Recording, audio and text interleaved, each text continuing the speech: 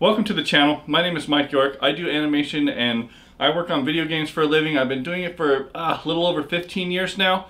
And so I want to touch on a subject which is kind of near and dear to me and that is how to break into the industry. And one of the topics is, is to basically start as a game tester. So if you're looking to get a job as a game tester, one of the first things that you want to do or have is a passion for games because you're going to be playing them. I mean, I know you are going to hear this out of my mouth, but it's no joke. You're going to be playing games a lot. And it's not what you think it is, okay? A lot of people think as a game tester, you're just going to go in there, you're going to have a blast, you're just going to have fun with all your friends and just play Overwatch all day, or you're going to sit there and play Call of Duty all day.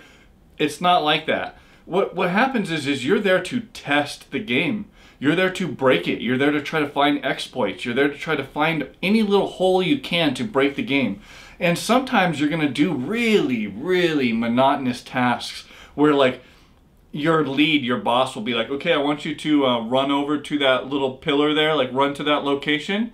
And then your buddy here, your friend here is just going to shoot you in the head. And I need you to do that all day for eight hours. You're like, what? Like, are you serious? You want me to just literally run to the same spot all day and just get shot in the head? Yeah. And you're like, oh God. Because as soon as you start doing stuff like that and you and you do something repetitive over and over and over and over and over and over and over, you're just like, oh my get me out of here. And so game testing can be frustrating. It can be very taxing, okay? Back in the day when I was a game tester, um, I was a game tester at Activision. A lot of times, a long time ago, there's a lot of long hours. There was a lot of time that people put in overtime, right? So game testing is not all roses and cherries and blossom apple pies, okay? Sometimes when you're a game tester, you're going to be doing things that you, you don't love and you don't enjoy. So I just want to get that out of the way because uh, if you, if you think that game testing is just fun, it's easy peasy, it's it's not. It is a job. It is something that you need to be good at. It's something you need to be professional at, and it's something that you have to take a passion for and be professional about it, right? So if you're trying to get a job as a game tester, one of the first things that you're going to want to do is you're going to want to research the company that you're going to want to work for. All of these companies are different and unique in their own different way, okay? So if you apply as a game tester at Riot Games, for example, they work on League of Legends. They want somebody that's going to be passionate about League of Legends. They want to know your character's name in the game. They want to look you up and look at your stats and see how much you actually play the game. They are hardcore about the game over there Riot, okay? So it depends on the company you want to work for. You have to really tailor your email and your message to somebody that you're reaching out to to get a job based off of what they do and what they're passionate about. And if you're passionate about it, right? You don't want to reach out to just every single company. In the beginning, you, you, you do want to reach out to them all, and that's something I want to touch on in a second. But what I want to stress is that you want to make sure that when you send an email, when you first start sending out emails to get jobs doing this, is that you are passionate about what they do at their company. You want to bring up moments about games that they work on and why you like them. And you want to talk about how you're passionate about finding the bugs in the game, okay? You're not just there to play the game. You're there to find the loopholes and the, the exploits, like I said. You're there to break the game. So talk about that in your email and so forth, right? So I'm going to talk about three, three main things you need to do, basically, to become a game tester. And number one is to start off by researching all the companies, okay? Go to every, because right now you can go on to Google and type in list of game developer studios or game developer list, whatever. And you can find a whole list usually of studios. And what you need to do is you need to go to every single one of them and research them, look them up, see where they're located. A lot of times right now, the beauty of all this is you can work from home. You can test your games on your computer behind, you know, you can do whatever you want from home. A lot of times testers can work from home now and you don't have to have a dev kit and be inside the studio, right? But most of the time, as a game tester, they're probably going to want you to work in-house at location. So keep that in mind. If you're researching these companies and you don't want to move to Germany or some crazy place to work, then don't apply there probably. Or if you're going to apply, make sure that you, you word in your email that you are remote only and you can only work remotely, right? So keep that in mind because things are changing now and more than ever you're going to be able to work from home so don't shy away from applying at a company that says that they don't like they're only working in-house don't do that apply still because things have changed because of covid okay so like i said number one research all these companies and look at the ones that you think are cool, the games you like, the styles of games. Because, like I said, remember, you're going to be playing the same game over and over and over. So, if it's a style of game that you don't like, like if you don't like playing League of Legends, don't apply at Riot Games to be a game tester, okay? Because you're going to be doing things that you probably are really annoyed at and you don't want to do.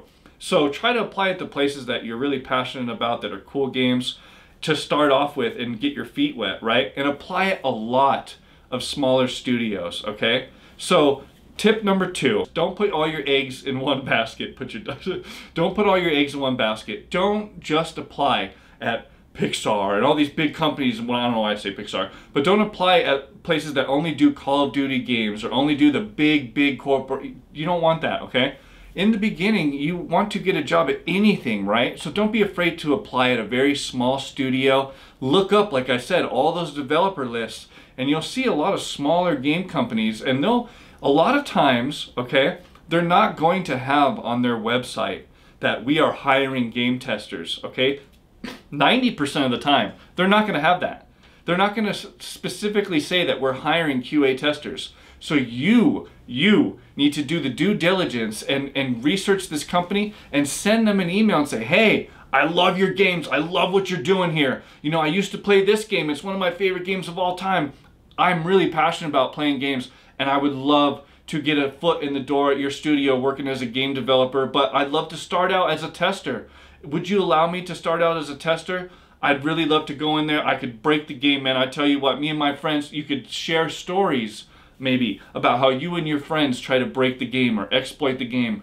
You know, they want to see that you are passionate about this stuff. One of the most important things about getting a job in the video game industry is being passionate about what they do and what what what games are made, right?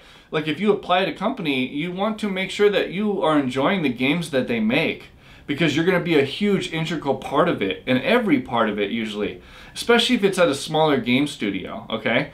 So, tip number 3, you want to form your email very professionally, okay? So tip number three is form your prof- your professional email. You, you need to make a uh,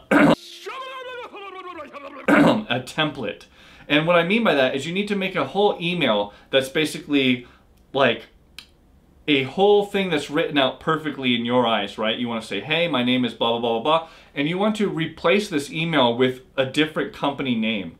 And you have to be very careful about this, okay? When you send an email, you need to make sure that the company matches the company that you're sending it to. You need to reread your email thoroughly and make sure that you're not sending it to the wrong company, okay? I have done this personally. I've done it several times and it looks really bad and I know it does. So you have to be careful about these things. You know, try not to do what I did and burn yourself to where you send an email to Activision and you say, "Hey, I'd love to work over there at Bungie," and or "Hey, I'd love to work over there at Rockstar Games on Call of Duty." They're like, "What? What do you mean? Rockstar Games doesn't make Call of Duty." Oh my God, this guy's an idiot. Throw out your. You have to be careful. Make sure you read all your stuff and make sure you tailor that email towards the company you're working for like an integral part of tip number three here of making sure this email is like a template is that you need to change this template up. It's just a template, okay? It's not an email you copy paste to everything and just change the company name. Don't do that. Okay, you need to personalize it. That's why you're here watching this video right now, okay? This this tip that I'm giving you is very important. This is what can make or break you getting a job. You do not just copy and paste an email, okay? You don't do that. You personalize it. You talk about Grand Theft Auto and how you used to play it as a kid and how you can't wait till Grand Theft Auto 6 comes out and how GTA 5 you really love this moment of the game and blah blah blah blah. It's okay at this moment right now to write that big email, to show your passion about what games that they make. This is the time to do it because this company is sifting through thousands of emails and thousands of, you know, resumes and stuff a day. You would you'd be surprised at how many companies get like massive amounts of, of job applicants for this stuff okay? So you have to stand out. One of the ways of doing that is making it personal, talking about the stories that, and the games that you had fun playing and how you want to work on them with them, with that company. Okay, so hopefully you guys enjoyed some of these tips because this is something very important. You have to word your email certain ways, right? You have to you have to approach things a certain way. You don't want to just copy paste stuff. You don't want to just um, only apply it to big companies, right? This is something that it's a full-time job applying for a job. Okay, so never forget that. It takes a lot of time to, to, to, apply for jobs. A lot of times I feel I see people and they go, "Oh man, I can't get this job, or I haven't, I can't get a job in this. It's just not for me." And I ask them, "Well, who have you applied to?" I've applied to Activision, you know, Blizzard. So they've only applied to a couple of the big names, right? Is what I'm getting at. They've only applied to a couple big companies, and they're selling themselves short. You have to apply at all of them every single one. When I first got into the game industry, I applied to every single company I could possibly, you know, every single company I could possibly get into, I applied to. And on that note, if you want to know how I got into the game industry and how I got my first job, there will be a link up above. Check it out. Go to my next videos. In this one, I hope you enjoyed it. I appreciate all your time and support. You know what buttons to press, and I appreciate it. I'll catch you guys in the next one. Peace!